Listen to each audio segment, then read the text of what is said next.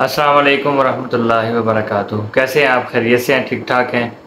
पाकिस्तान में गरीब आवाम के फलाह के लिए जो है, बहुत कम लोग जो है सिंसेरिटी से इस चीज़ के ऊपर जो लोग पॉलिसी बनाने वाले हैं वो इस चीज़ का अपने लिहाज से तो सही सोचते होंगे लेकिन एक अहम चीज़ है जिसकी तरफ़ मैं तोज्जो मबजूल कराना चाहता हूँ, वो ये है कि गैस के जो बिल हैं, वो अगर ये कहना मेरे ख्याल में जायज़ होगा कि गैस के जो बिल हमें आ रहे हैं, वो तकरीबन ढाई सौ, तीन सौ रुपया अमूमन जो है, जो डोमेस्टिक यूज़र्स हैं, अमूमन एक आम आदमी को तकरीबन पाँच सौ की रेंज के अंदर जो है, बल्कि इससे कम ही जो है, वो गैस का बिल आता है।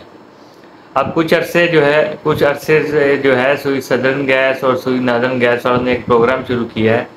वो ये शुरू किया है कि हमने इंडस्ट्री को गैस देनी है और इसलिए जो है गैस मुल्क के अंदर कम हो गई है। और लिहाजा जो है, तीन टाइम जो है जब खाने के अवकात होते हैं, उस वक्त जो है गैस दी जाती है। यानी कुछ वक़्त के लिए जो है, घरों के अंदर जो गैस होती है, वो प्रोवाइड की जाती है।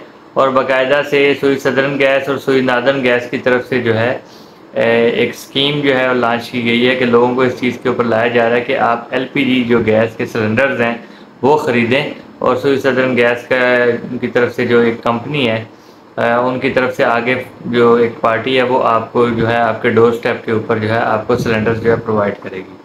तो यहाँ कहने का मकसद ये है कि एलपीजी जो गैस अमूमन जो है वो तकरीबन 250 से 300 की रेंज के अंदर जो है ना मिल जाती है। लेकिन मैं ये कहना चाहता हूँ कि जो एलपीजी गैस है, वो बहुत महँगी है।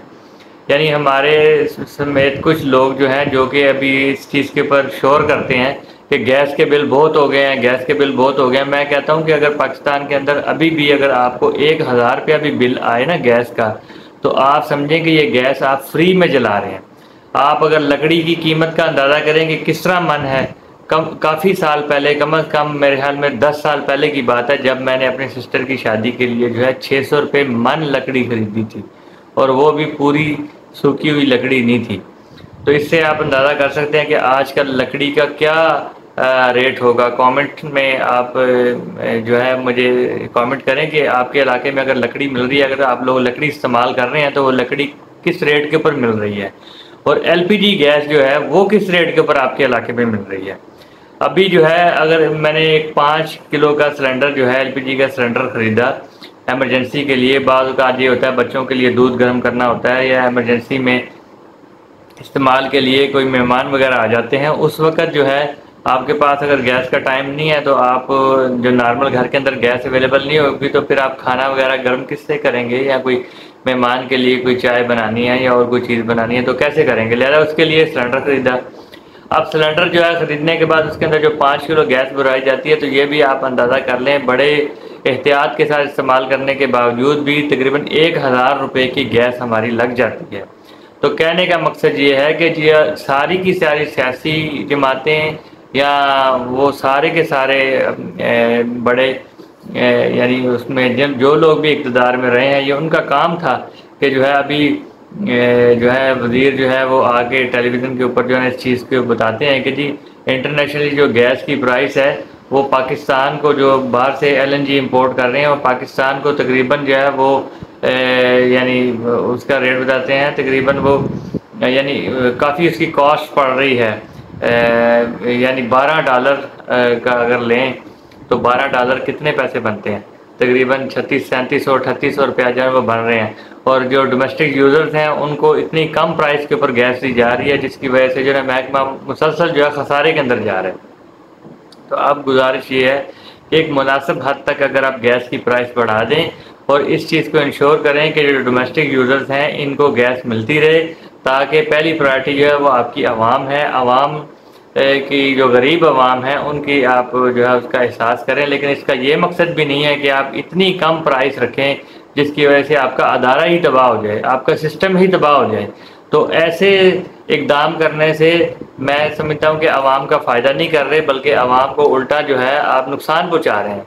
मुल्क को नुकसान पहुँचा रहे हैं। जितना ज़्यादा मुल्क के ऊपर कर्जा चढ़ेगा, उतनी ज़्यादा ये चीज़ें महँगी होंगी, उतनी ज़्यादा जो है हमें सूद अदा करना पड़ेगा, उतने ज़्यादा हमारे लिए मसाइल बनेंगे, उतने ही ज़्यादा जो है हम क्राइसिस के अंदर आएँगे और गैस जो है हम जो है आप डोमेस्टिक यूज़र को भी नहीं दे पाएँगे। लिहाजा मेरी गुजारिश है कि तमाम जो अरबाब इख्तियार हैं, वो इस चीज़ के ऊपर जो है गौर व फ़िक्र करें। और ये जो प्राइस बढ़ा रहे हैं, अगर आप गैस की तो मुनासब बढ़ा दें, इसमें कोई ऐसा मसला नहीं होगा इन एक जो गरीब आदमी है, वो भी इन अल्लाह ने चाहा तो एक हज़ार रुपये से कम, अभी अगर ढाई सौ रुपये बिल आ रहा है तो फिर चलो पाँच सौ रुपये आ जाएगा। लेकिन कम अज़ कम गैस की अवेलेबिलिटी को तो इंश्योर हो, और हमारा मुल्क जो है, वो भी नुकसान में ना जाए सिस्टम नुकसान में ना जाए। क्योंकि मेरे एक बड़े अज़ीज़ दोस्त से जो कि बड़े एक अच्छे अहदे के ऊपर सुई गैस के अंदर, आज से 10-15 साल पहले की बात है, मैं उनके एक शोबे में गया। वहाँ पर कोई ट्रेनिंग वगैरह देनी थी, कोई बात करनी थी।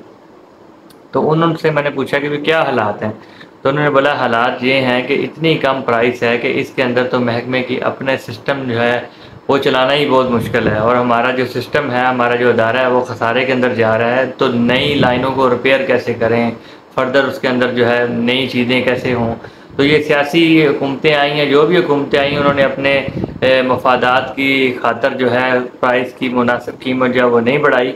अगर इतना ही आवाम का ख्याल होता तो पेट्रोल की कीमत आप क्यों बढ़ा देते हैं? फिर आप बताएँ, ठीक है?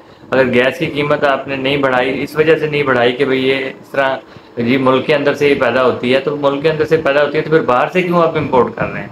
इसी तरह अगर तेल भी इस तरह मुल्क के अंदर से पैदा होता है तो कहने का मकसद ये है कि एक आम फहम सी बात है कि जो आपको प्राइस पड़ रही है, जो आपको लेकिन वो सारी अगर प्राइस बढ़ा के भी अगर एक घर का अगर पाँच सौ छः सौ रुपया अगर बिल आ जाता है तो मेरे ख्याल में ये कोई ज़्यादा बिल नहीं होगा और पाँच छः सौ रुपया हर आदमी अफोर्ड कर सकता है। मुझे आप ये बताएँ कि पाँच छः सौ रुपया अगर आप अफोर्ड नहीं कर सकते तो आप एलपीजी कैसे अफोर्ड करेंगे? जो सिर्फ़ तीन सौ रुपये के जी है अगर आप पाँच किलो का सिलेंडर भरा के लेके आएँ तो जिस फैमिली के अंदर जो, अगर आपके दो तीन बच्चे हैं, यानी अगर आप चार पाँच अफराद की आप फैमिली हैं तो मैं कहता हूँ, आप दो ढाई हज़ार रुपये की महीने की आप गैस जलाएँगे। और मुसीबत आपको अलहदा होगी बार बार सिलेंडर भरवाने के लिए लेके जाना पड़ेगा और इसकी प्राइस भी कंफर्म नहीं रहती।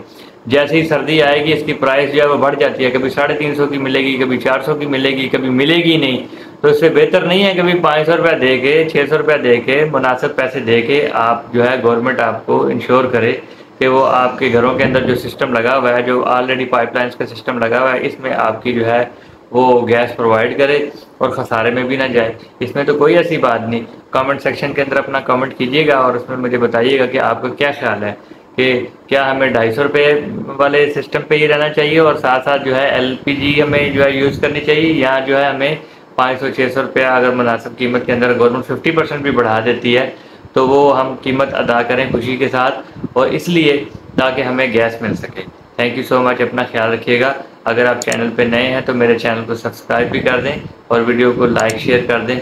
इसके अलावा जो है अपना जो है आखरत की भी हम फ़िक्र करें, मरने के बाद जो हमेशा हमेशा की ज़िंदगी आने वाली है, उसके लिए जो है हम तैयारी करें। अभी अल्लाह पाक ने हम सबको मौका दिया है, नमाज़ों का अहतमाम हो, कुरान की तलावत हो, अल्लाह का ज़िक्र करने वाले बने, अपने दोस्तों के साथ, अहबाब के साथ, सबके हकूक़ को अदा करने वाले बने, अल्लाह की रज़ा के लिए जो है काम करें, जो भी करें। और जो नेक माल हम खुद करते हैं, दूसरों को भी इसकी तरकीब दें। थैंक यू सो मच अस्सलाम वालेकुम वरहमतुल्लाहि व बरकातुहू